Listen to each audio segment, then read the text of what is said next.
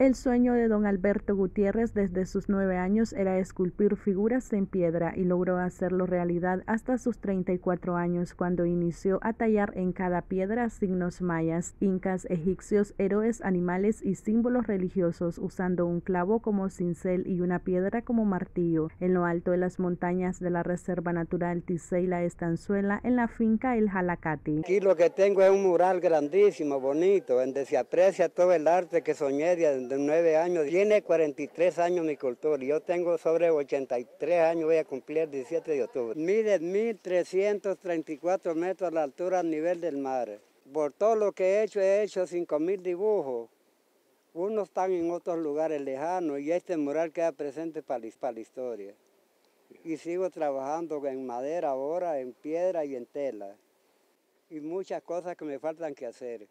Senderismo, avistamiento de aves y artesanía también podrán apreciar en este sitio turístico. El costo de la entrada es accesible. El costo de la entrada tenemos 40 eh, los adultos y 30 a los niños. Tenemos artesanía y las artesanías las hacemos nosotros, ¿no? Alguna parte pues.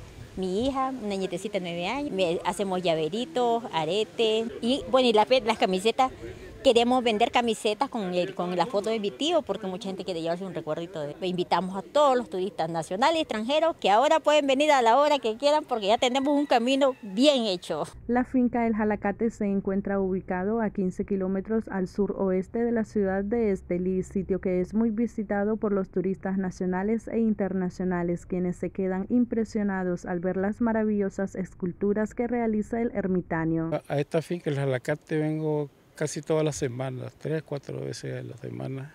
La creatividad de este hombre es muy, es muy, muy significativa. Pues.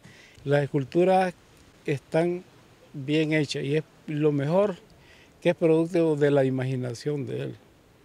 Porque este hombre, por ejemplo, estos elefantes que ve aquí, él no lo vio en, un, en una figura, sino que él parte de la imaginación. Que que no conoce y los que ya conoce, pues que sigan visitando aquí. Es un lugar fresco, un lugar agradable donde se respira oxígeno bastante, muy bonito, acogedor y es bueno que vengan a visitar aquí. Estamos accesibles más que ahora tenemos ese camino que se acaba de hacer, ese camino para todo tiempo.